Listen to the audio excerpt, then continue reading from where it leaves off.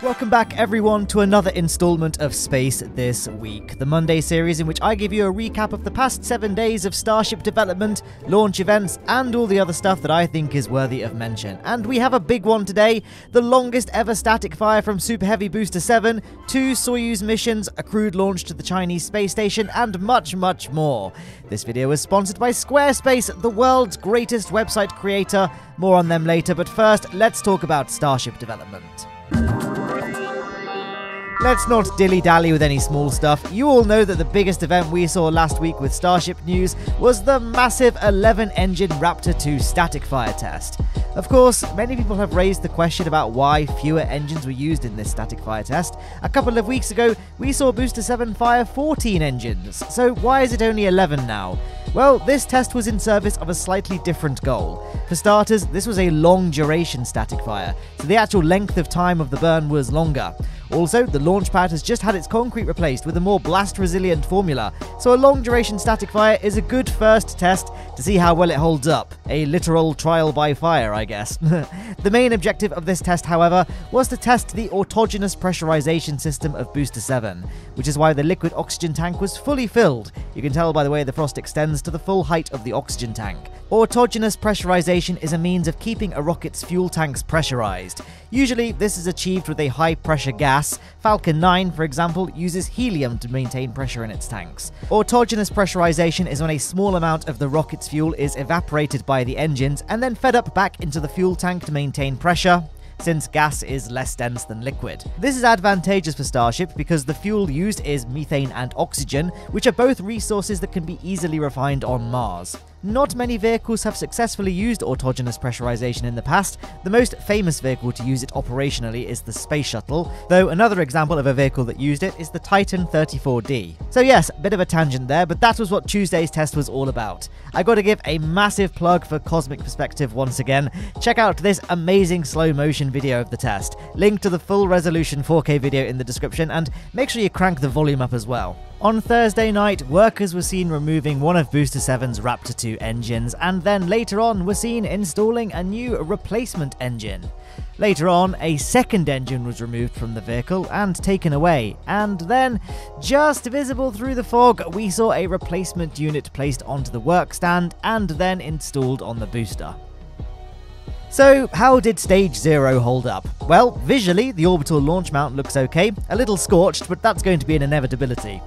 One question on many people's minds is why aren't SpaceX making use of a flame trench? If you look at a Soyuz launch, you can see that the launch pad has a gigantic cavern underneath it to divert flames away from the launch infrastructure, and NASA uses them as well at the Kennedy Space Center. Heck, even the Kerbals figured this out.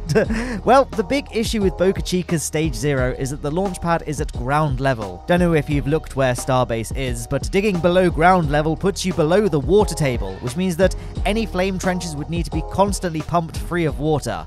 The Kennedy Space Center is also pretty much at sea level, and this is why the launch pads there are so built up. You can see how high the launch pads are compared to the surrounding land. They're built raised up like that so that the flame trenches can be above the water table. So it's not really feasible to dig a trench under stage zero right now. It would need to be torn down and raised up a few meters higher. Hopefully, no significant damage occurred in the wake of last week's static fire. I'd just like to draw your attention to this photo here. Now, if you look just here, you can see Squarespace, who have sponsored today's video. Guys, if you've been living under a rock and don't know what Squarespace is yet, then strap in, buckaroo. Squarespace is the internet's number one website builder. And hey, if you have been living under a rock, then why not start a blog site using Squarespace to tell the world about your subterranean life? I'd read that. Just head on over to Squarespace, hit start, tell it what sort of website you want to build, and then take a scroll through the huge number of high quality and professionally designed templates until you find a design you like, and then crack on.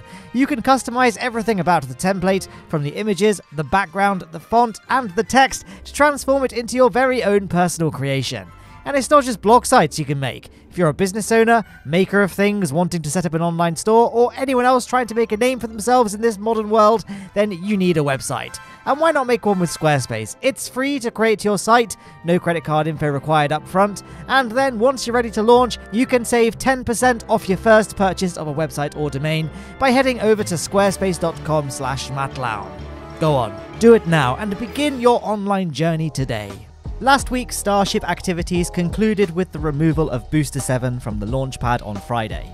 This will allow SpaceX to install the aero covers on the outer Raptor 2 engines. You can see that the plumbing is still a little bit exposed there. And this will also allow SpaceX workers to work on the orbital launch pad if any work or upgrades still need to be done. The biggest launch event of the past week was the launch of a Long March 2F on the 29th of November.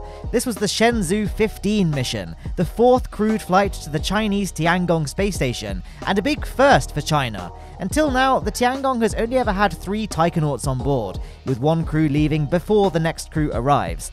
This time, however, the Shenzhou 14 taikonauts were still aboard, making this the first Chinese crew handover in space. After docking to the front port of the Tianhe core module, the Shenzhou 15 hatch was opened on the 29th of November, and we saw some nice footage of the Shenzhou 14 taikonauts welcoming their successors on board. This is the first time there's been an overlap of two Shenzhou missions, which means that this is the first mission in which the space station remains permanently inhabited, and the reason the station can support double the crew now is because of the recent addition of the Mengtian laboratory module, which brought the station up to its final size.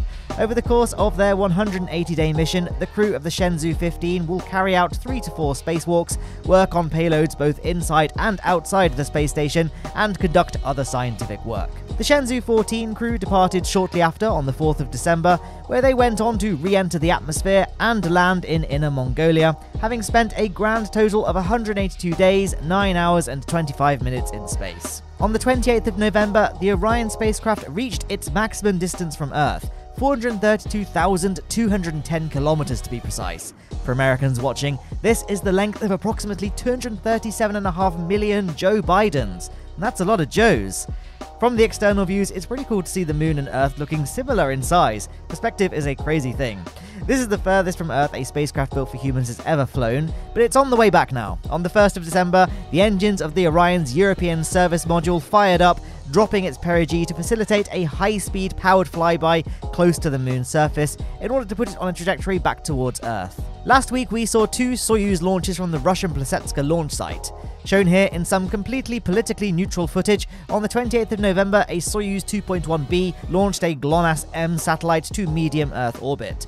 GLONASS is the Russian radio-based satellite navigation system comparable to the American GPS system, and this particular satellite, designated Cosmos 2564, is the final GLONASS-M satellite to be launched. The other Soyuz launch that we saw last week took place on the 30th of November.